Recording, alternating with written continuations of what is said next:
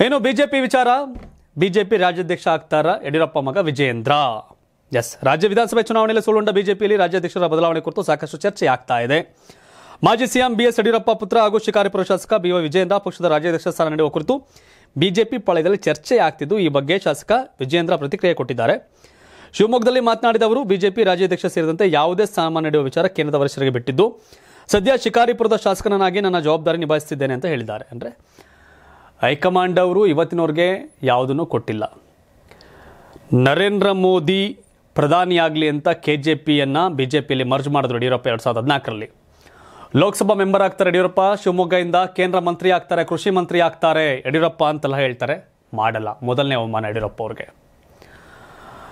ಅದಾದಮೇಲೆ ರಾಜ್ಯಾಧ್ಯಕ್ಷ ಮಾಡೋ ವಿಚಾರದಲ್ಲೂ ಭಾಳಷ್ಟು ವಿಳಂಬ ಮಾಡಿ ಹಲ್ದಾಡಿಸಿ ರಾಜ್ಯಾಧ್ಯಕ್ಷನ ಮಾಡ್ತಾರೆ.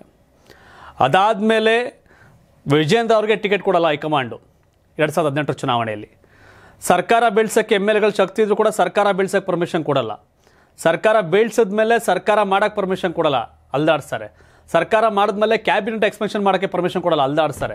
ಅದಾದಮೇಲೆ ಹೇಳ್ದೆ ಕೇಳ್ದವ್ರನ್ನ ಕೆಳಗಿಳಿಸ್ತಾರೆ ಅದಾದಮೇಲೆ ಅವ್ರ ಮಗನ ಮಂತ್ರಿ ಮಾಡಬೇಕಾಗತ್ತೆ ಅಂತ ಕ್ಯಾಬಿನೆಟೇ ವಿಸ್ತರಣೆ ಮಾಡಲ್ಲ. ಆರು ಖಾಲಿ ಉಳಿಸ್ಕೊಂಡು ಕೂತ್ಕೋತಾರೆ ಬೊಮ್ಮಾಯಿ. ಸೊ ಹೀಗಾಗಿ ಅಪಮಾನಗಳ ಸರಮಾಲೆ ಯಡಿಯೂರಪ್ಪ ಅಂಡ್ ಫ್ಯಾಮಿಲಿಗೆ ಆಗಿದೆ.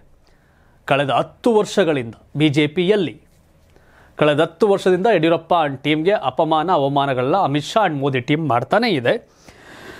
ಸೊ ಹಾಗಾಗಿ ಈಗ ರಾಜ್ಯಾಧ್ಯಕ್ಷ ಮಾಡಿಬಿಡ್ತಾರೆ ಇವರು ಅನ್ನೋದಷ್ಟು ಸುಲಭ ಅಲ್ಲ. ಯಾಕೆ ಅಂದರೆ ಜೆ ಡಿ ಎಸ್ ಜೊತೆ ಮೈತ್ರಿ ಆಗೋ ವಿಚಾರವನ್ನು ರಾಜ್ಯದ ಯಾವೊಬ್ಬ ಬಿ ಜೆ ಪಿ ನಾಯಕರ ಜೊತೆ ಮೋದಿ ಆಗಲಿ, ಅಮಿತ್ ಶಾ ಆಗಲಿ ಮಾತಾಡಿಲ್ಲ. ಇವರು ಯಾವ ಸೀಮೆ ಪುಟ್ಕೋಸಿ ಇವ್ರ ಹತ್ರ ಏನು ಮಾತಾಡಬೇಕು ಅನ್ನೋ ಧೋರಣೆಯಲ್ಲಿ ಡೈರೆಕ್ಟ್ ಕುಮಾರಸ್ವಾಮಿಗೆ ಅವೈಲೇಬಲ್ ಇದ್ದಾರೆ ನರೇಂದ್ರ ಮೋದಿ, ಅಮಿತ್ ಶಾ. ದೇವೇಗೌಡರಿಗೂ ಅವೈಲೇಬಲ್ ಇದ್ದಾರೆ ಮಾತಾಡ್ತಾರೆ ರಾಜ್ಯ ರಾಜಕಾರಣದ ಬಗ್ಗೆ. ಆದರೆ ರಾಜ್ಯಾಧ್ಯಕ್ಷ ನೇಮಕ ಮಾಡೋ ವಿಚಾರ ಆಗಲಿ, ವಿಪಕ್ಷ ನಾಯಕನ ಮಾಡೋ ವಿಚಾರದಲ್ಲ ಆಗಲಿ, ಇವ್ರನ್ನ ಕ್ಯಾರೆ ಅಂತಿಲ್ಲ. ಬಿ ಜೆ ಪಿ ನಾಯಕರನ್ನ ಅಲ್ಲಿ ಇಸ್ರೋಗೆ ಬಂದಾಗ ರೋಡಲ್ಲಿ ನಿಲ್ಲಿಸಿದ್ರು ಇವ್ರನ್ನ ಸಾಮಾನ್ಯ ಕಾರ್ಯಕರ್ತರ ರೀತಿ. ಸೊ ಹಾಗಾಗಿ ರಾಜ್ಯ ಬಿ ಜೆ ಪಿ ನಾಯಕರನ್ನ ಕಾಲ ಕಸದ ರೀತಿ ಹೈಕಮಾಂಡ್ ಕಾಣ್ತಿದ್ದಾರೆ. ಸೊ ಹಾಗೆ ಅಷ್ಟು ಸುಲಭವಾಗಿ ಯಡಿಯೂರಪ್ಪ ಅವರ ಪುತ್ರ ವಿಜೇಂದ್ರ ಅವ್ರನ್ನ ರಾಜ್ಯಾಧ್ಯಕ್ಷನಾಗಿ ಮಾಡ್ತಾರಾ ಅನ್ನೋದು ನನಗೆ ಕಾಡುವಂಥ ಆಶ್ಚರ್ಯಕರ ಪ್ರಶ್ನೆ.